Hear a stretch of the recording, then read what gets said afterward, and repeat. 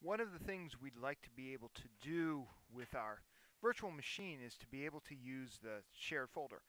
Due to a uh, slight glitch in the setup here, uh, actually one of the permissions is not set up right to use this shared folder. So I'm going to walk you through how to actually enable the uh, shared folder for CS3841. So if we take a look in the media directory, there is this folder here, SFLW share. Right now,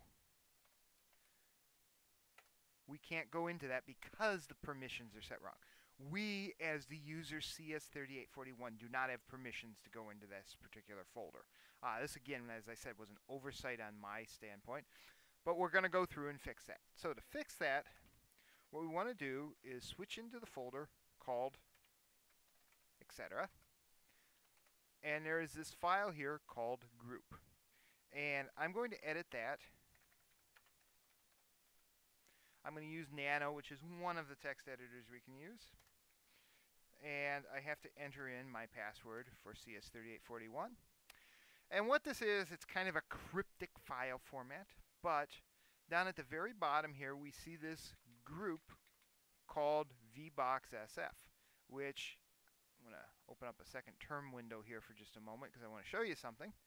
If I switch to that media directory and then list the files, we see that this LW share happens to be owned by this VBoxSF user or group within the system.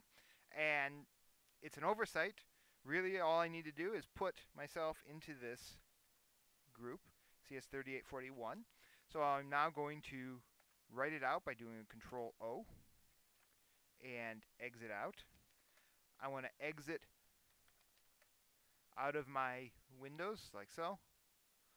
Log myself out of my virtual machine, which will allow the window to be, or allow the permissions to be reread again. I'll log back in like so.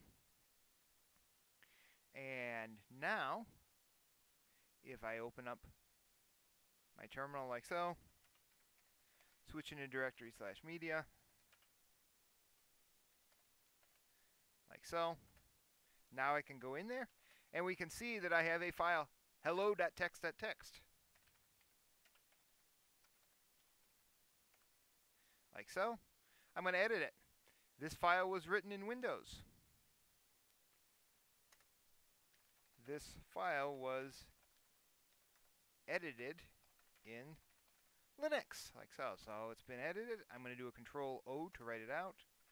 Exit out of it. Now on my Windows side of my machine, I have that same LW share open up. Here is that hello.txt. I can edit it. Oops. We can see it was written in Windows, was edited in Linux. And if I put a carriage return in here, like so, make that under a separate line, make that, this file was then edited again in Windows. I'm doing this with Notepad just because. So it's been edited with Windows. Now over here,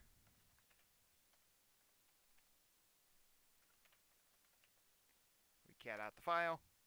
We can see was written in Windows, was edited in Linux, was edited again in Windows, like so. Now you have the ability to access this shared directory and you can copy files to and from Windows to the Linux side and modify things accordingly.